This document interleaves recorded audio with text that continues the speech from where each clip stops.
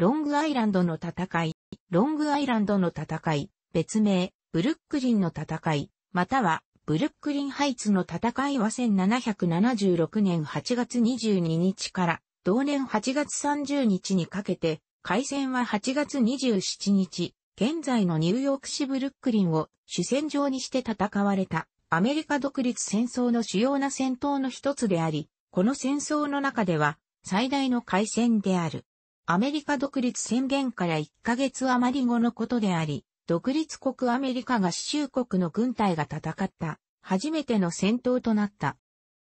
ボストン包囲戦の後、1776年3月17日にイギリス軍をボストンから追い出した大陸軍総指揮官のジョージ・ワシントン将軍は当時マンハッタン島の南端部でしかなかったニューヨーク市を守る目に軍を移動させた。ワシントンはそこに防御陣地を敷き、イギリス軍が攻撃してくるのを待った。7月、ウィリアム・ハウ将軍の指揮するイギリス軍は、マンハッタンからは港を隔てて、数マイル向こうのスタテン島に上陸し、そこで1ヶ月半の間ゆるりとニューヨーク湾の艦船から援軍を受け取り、総勢は3万2千名になった。イギリス海軍がニューヨーク港への入り口を支配していたので、ワシントンは死を守る難しさを察知した。マンハッタンが最初の目標になると考え、自軍の主力をそこへ移動させた。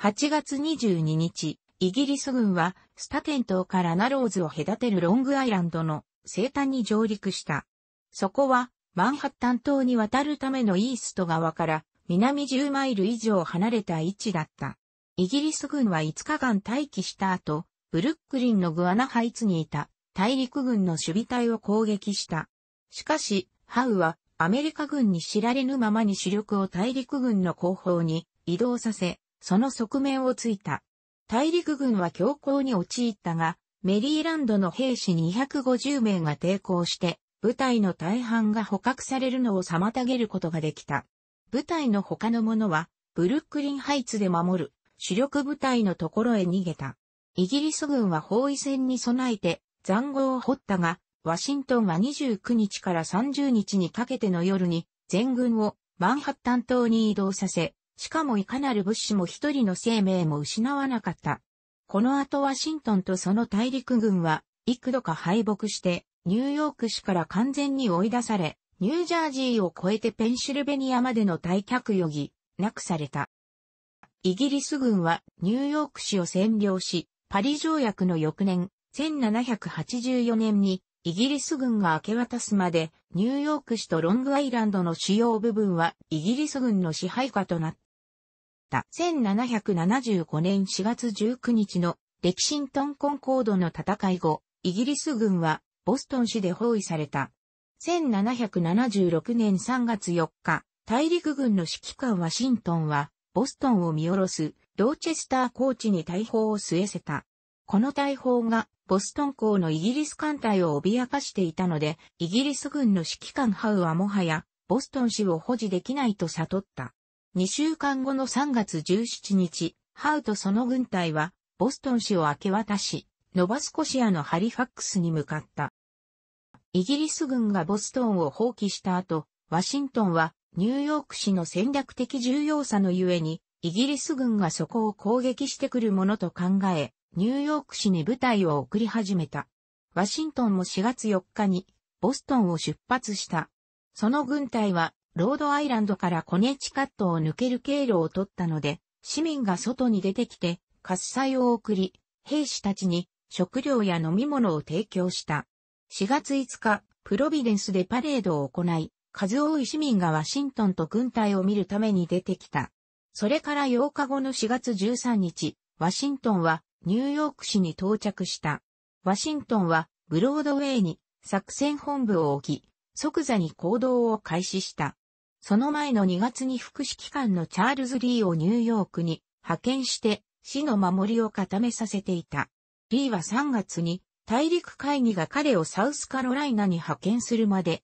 ニューヨーク市の守りを統制する目に留まっていたが、その後の防衛準備は、ウィリアム・アレクサンダー将軍、スターリング卿に任されていた。リーとスターリングは防衛準備のために避ける要因をあまり持っていなかったの。ワシントンが到着した時は、その工事の半分しか終わっていなかった。リーは、もし、イギリス軍が海上を支配した場合、ニューヨーク市を保持することが不可能と判断したので、イギリス軍がアメリカからどこの陣地でも奪おうとした時に大きな損失を出さざるを得ないように守りを固めた。ブルックリンハイツに構築したスターリング砦と呼ぶ、ホルイに沿って市の周辺にバリードや法警補が築かれた。リーはニューヨーク市にいる間に部隊をロングアイランドに派遣してロイヤリストを一掃させた。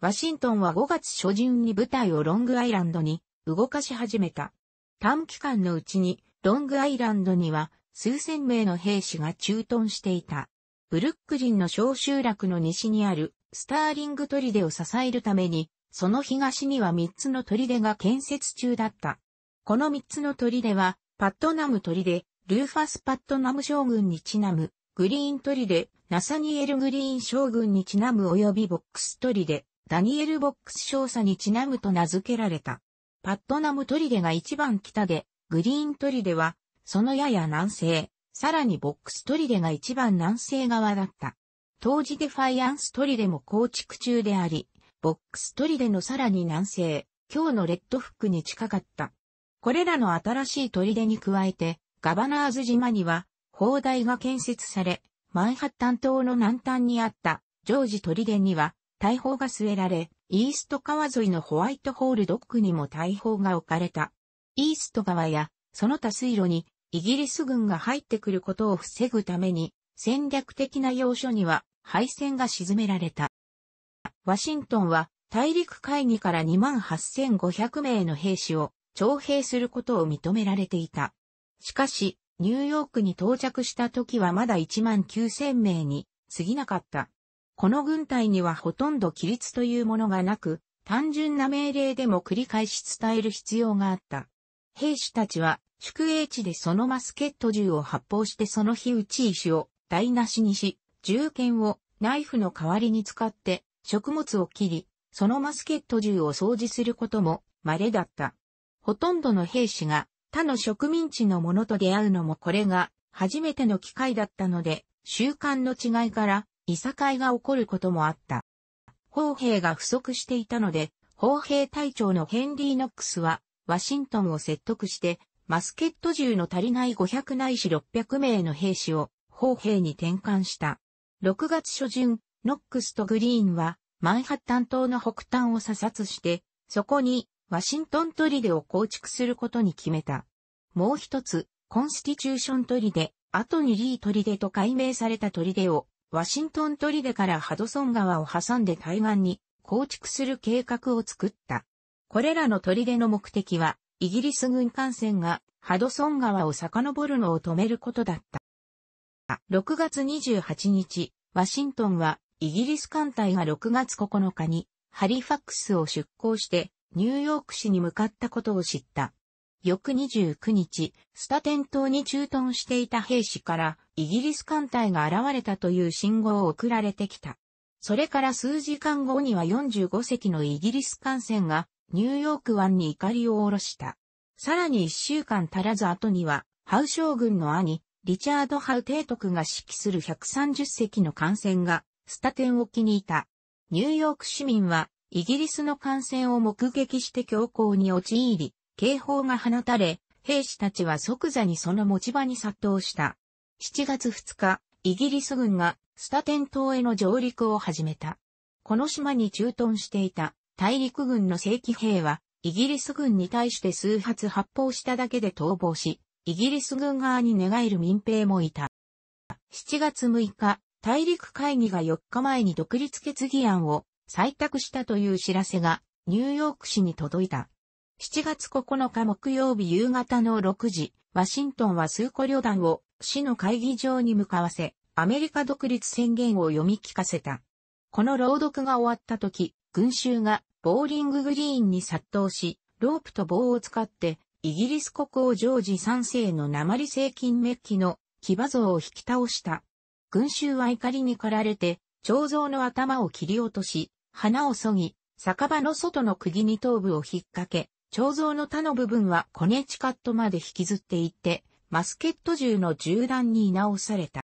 7月12日、2隻のイギリス艦船、フェニックスとローズが港からハドソン川川口に向かった。ジョージ鳥で、レッドフック及びガバナーズ島に置かれていたアメリカ軍の砲台から発砲があり、イギリス艦船も市内に向かって応戦した。これら艦船はニュージャージーの海岸に沿って航行を続けてハドソン川に入り、ワシントン砦の下を抜けて、夕闇が訪れるまでにハドソン川で最も広い部分、あるタリータウンに到着した。イギリス艦船の目的は、アメリカ側の補給船を立ち、ロイヤリストの支援を奨励することだった。この日の損失は、アメリカ側が自軍の大砲が暴発した時に6人の兵士、殺されただけだった。翌13日、ハウ将軍はアメリカ側との交渉を開始しようとした。ハウはフィリップ・ブラウン注意に休戦の旗を持たせ、ワシントン宛ての手紙を持参させた。この手紙の宛先はジョージ・ワシントン伝とされていた。ブラウンはジョセフ・リードと会った。リードはワシントンの命令でヘンリー・ノックスとサミュエル・ウェブと共に水際に急行ていた。ワシントンは士官たちにその手紙を受け取るべきかを尋ねた。手紙は、ワシントンの議会を将軍として認めてはいなかった。士官たちは、幾度音に、いなと答えた。リードはブラウンにこの宛先の者は、自軍の中にいないと回答した。7月16日、ハウは再び同じことを試みた。この時の宛名は、ジョージ・ワシントン殿、とうとう、とうとうとされていたが、これも再度拒絶された。翌日ハウは、ニスベット、バルフォア隊を送り、ワシントンがハウの副官と対面で会うつもりあるかを尋ねさせた。その会見は7月20日に行うこととされた。ハウの副官は、ジェームズ・パターソン大佐だった。パターソンは、ワシントンに向かって、ハウが恩赦を認める権限を与えられていると伝えたが、ワシントンは、何の咎もない者は恩赦を望まないと回答した。パターソンはその後すぐに帰還した。この会見の時のワシントンの態度は、アメリカ合衆国中で称賛された。一方、イギリスの艦船は続々と到着し続けていた。8月1日、45隻の艦船が到着し、ヘンリー・クリントン、チャールズ・コーンウォリス各将軍と3000名の兵士が加わった。8月12日までにさらに3000名のイギリス兵とヘッセンカッセルから8000名のドイツ人傭兵部隊が到着した。この時点でイギリス艦隊は73隻の戦闘艦を含む総数400隻以上となっており、スタテン島には3万2000名の軍隊が宿営していた。ワシントンはこの大軍に直面して、イギリス軍がどこから攻撃してくるのかはっきりつかめなかった。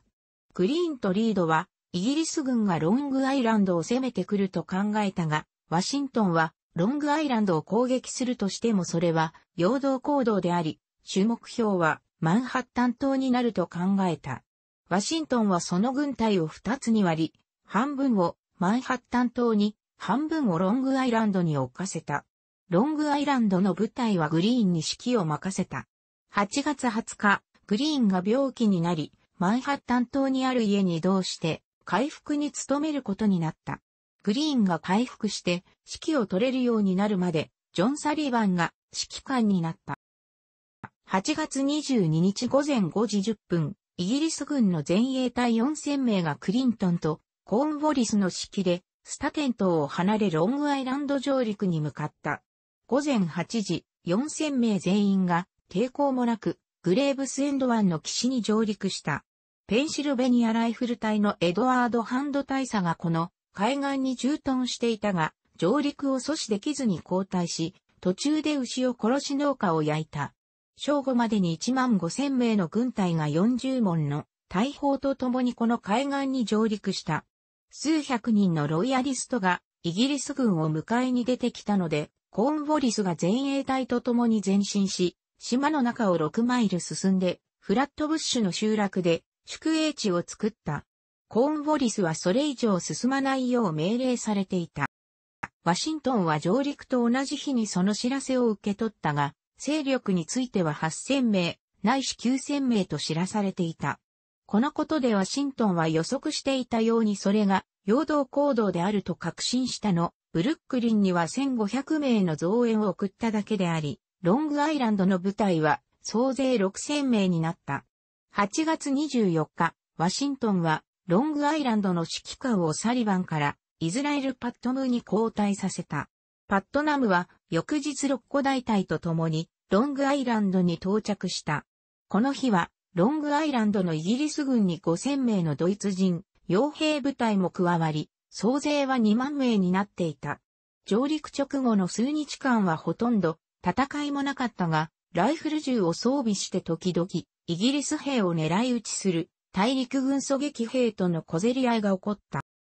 大陸軍の作戦は、バットナムがブルックリンハイツから防衛隊の指揮を取り、サリバンとスターリングの部隊がグアナハイツを守るというものだった。グアナハイツは標高が150フィートあり、ブルックリンハイツに直接至る道を塞いでいた。ワシントンはグアナハイツにいる部隊がイギリス軍に大きな損失を与えた後で、ブルックリンハイツの主力防衛隊のところまで交代することができると考え、そこに部隊を配置した。グアナハイツに抜けるには主要な3つの通路があった。ゴアナス道路が一番西にあり、そのやや東にあるフラットブッシュ道路は大陸軍前線の中心であり、イギリス軍の攻撃が予測された。3つ目のベドフォード道路が一番東にあった。スターリングが500名の部隊と共にゴアナス道路を守り、サリバンがフラットブッシュ道路2000名、ベッドフォード道路に800名を置いて指揮をした。背後のブルックリンハイツには6000名の部隊が残された。しかし、グアナハイツに至る道路にはさらに東にジャマイカパスと呼ばれるあまり知られていない道路があった。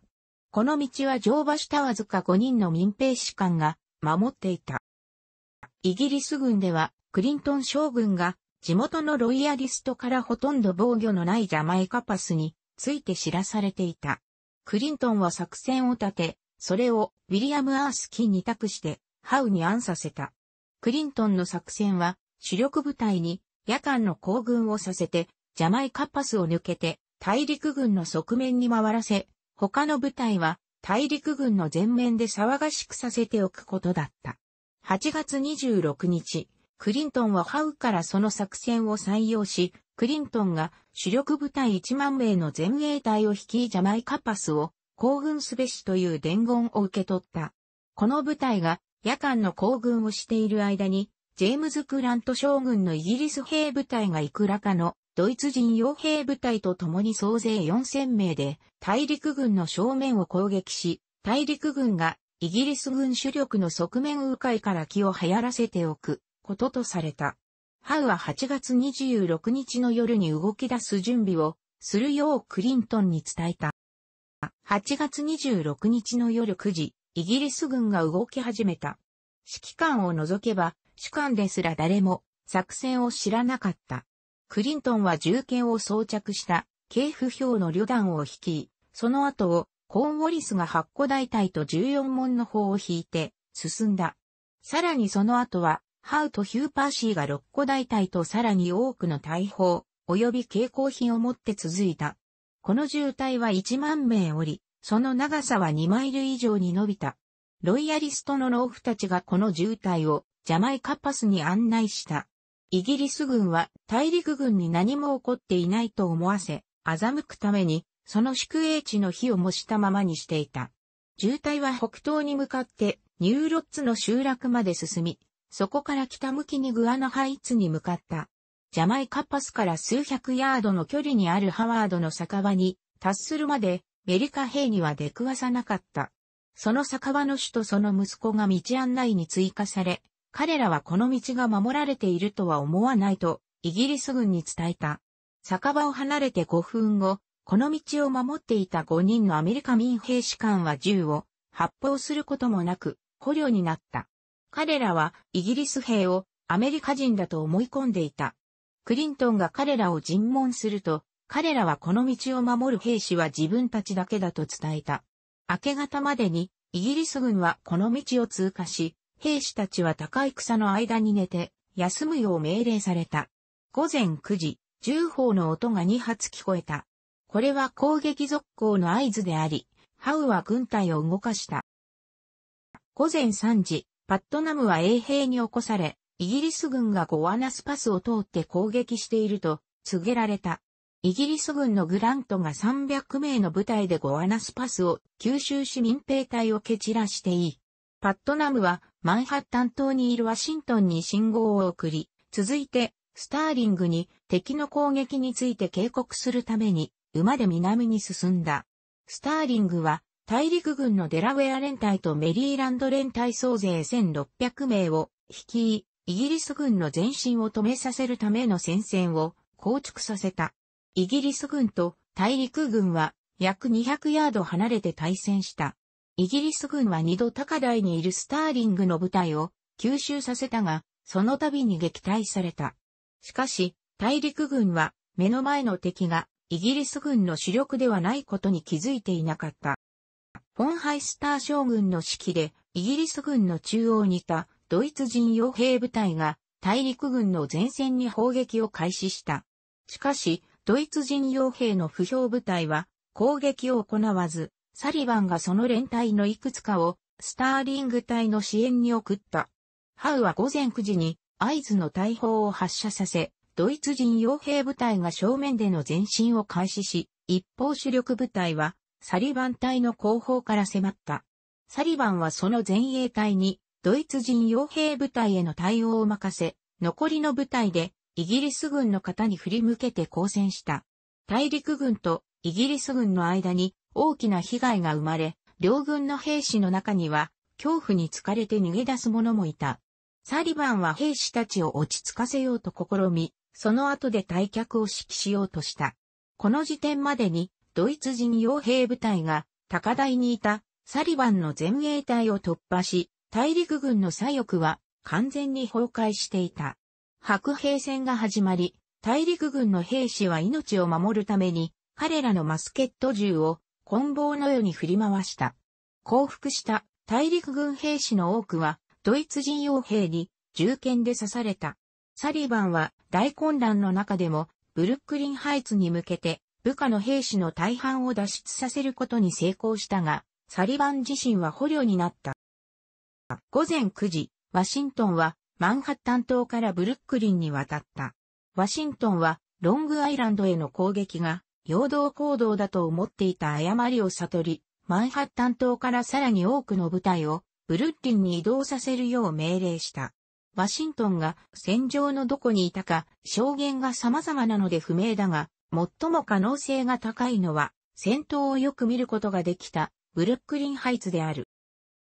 西側の大陸軍の右翼では、スターリングが依然としてグラントの部隊に対して戦線を保持していた。スターリングは4時間も踏ん張ったがこの時点でもイギリス軍が側面をついたことを知らず、イギリス軍が自軍の陣地を奪取できなかったので、この日の戦闘に勝ちつつあるとすら思っている者もいた。しかし、午前11時までに、グラント隊は2000名の海兵で補充されて、スターリング隊の中を攻撃した。スターリング隊はその左翼をドイツ人傭兵部隊にも攻撃されていた。スターリング隊は後退したが、この時にはその後方にもイギリス兵が迫っていた。残された逃走ルートは幅80ヤードの湿地とクリークを越えていくものだけであり、その向こうがブルックリンハイツだった。スターリングはメリーランド連隊の250名を残し、他のすべての兵士にクリークを渡るよう命令した。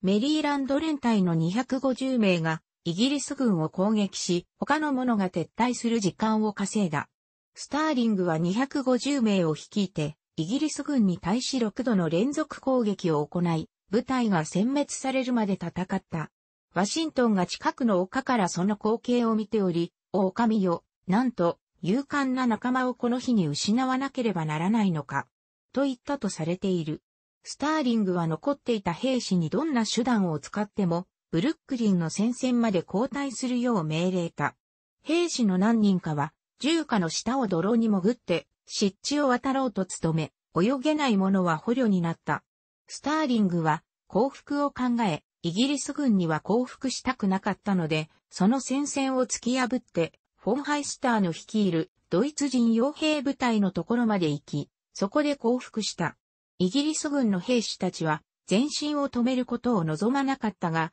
ハウはその多くの士官たちがブルックリンハイツまで推し進むべきと信じた意志にも反して全軍停止を命令した。ハウは士官たちの意見に同意しなかった。残壕で待ち構える大陸軍に襲いかかるのではなく、それを突き破るための秩序だった包囲戦の準備を始めた。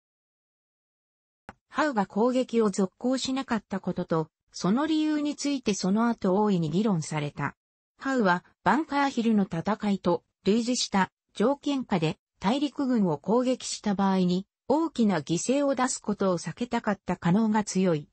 また、ヨーロッパの紳士的な士官の伝統に従い、ワシントンにその立場が絶望的であると判断させ降伏させる機会を与えたかった可能性もある。ハウは包囲された大陸軍を攻撃するのは軽率で犯罪的だと記していた。当時、この戦闘は北、アメリカで戦われた最大の戦闘になった。イギリス海軍を加えれば、総勢4万名以上の兵士が戦闘に参加した。ハウの報告では、戦死59名、負傷267名、不明31名だった。ドイツ人傭兵部隊は、戦死5名、負傷26名だった。大陸軍はさらに多くの損失を出した。約300名が戦死し、1000名以上が捕虜になった。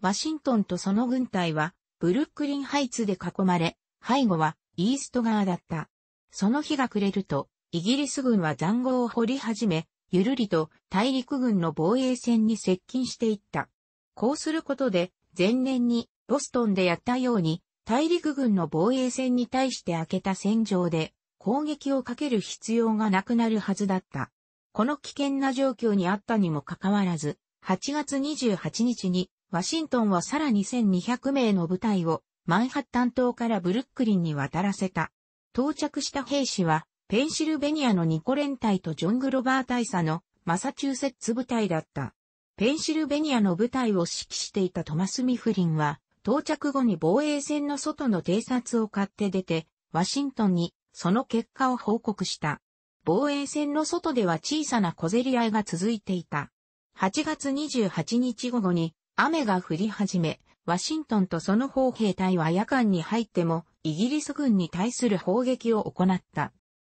雨が降り続いたので、ワシントンは、マンハッタン島との間のキングス橋、現在は、ブロンクスにいたウィリアム・ヒース将軍に伝令を送り、ニュージャージーの不評大隊が、ワシントン陣地の縁に来た場合に備えて、地帯なくあらゆる、平底船あるいはスループ船を送るように指示した。8月29日午後4時、ワシントンは将軍たちと作戦会議を開いた。ミフリンがそのペンシルベニア部隊で公営を務め前線を死守する間に残り、全軍がマンハッタン島に撤退するようワシントンに進めた。他の将軍たちも撤退が最良の選択肢であると、幾度音にミフリンに同意したので、ワシントンは夕方までに撤退を命令した。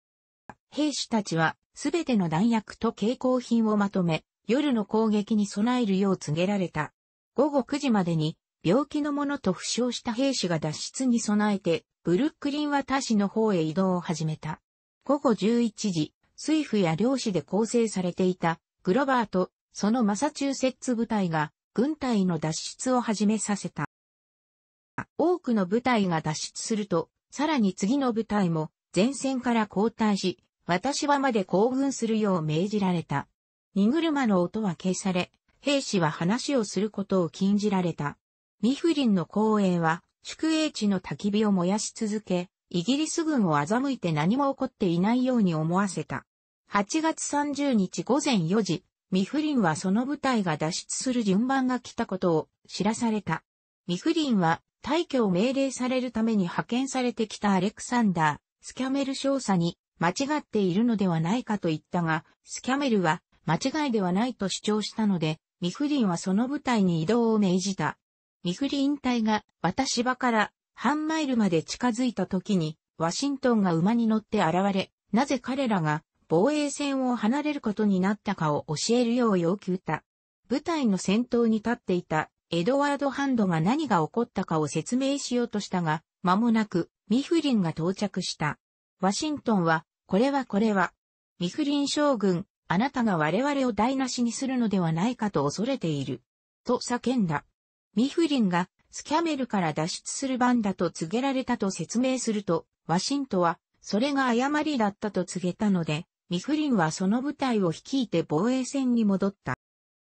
この時までに、大砲、物資及び兵士がすべて川を越えて脱出していたが、ワシントンが期待していたほどには進まず、夜明けが近づいていた。霧が出て、イギリス軍には脱出がわからないようにしていた。イギリス軍の偵察隊が大陸軍の全勝部隊に出会わないのに気づいて、あたりの捜索を始めた。そうしている間に、最後まで残っていたワシントンが最後の船に乗った。午前7時、大陸軍の最後の部隊がマンハッタン島に上陸した。総勢9000名の軍隊が一人の命も失わずに脱出を果たした。